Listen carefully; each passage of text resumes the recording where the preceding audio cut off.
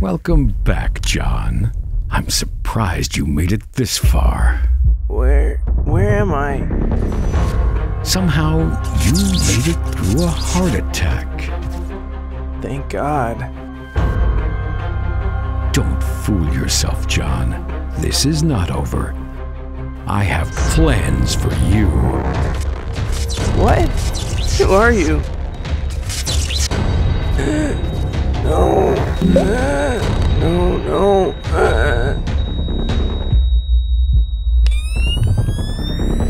Patient name is John Smith, male, mid 30s. Pulse is faint and receding, BP 80 over 30.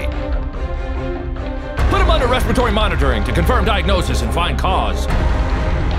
Respiratory failure confirmed, caused by severe asthma attack. Intubate now! Circulatory system collapsing. We're losing him. I need 30 cc's of nitroglycerin. Come on, John, stay with us.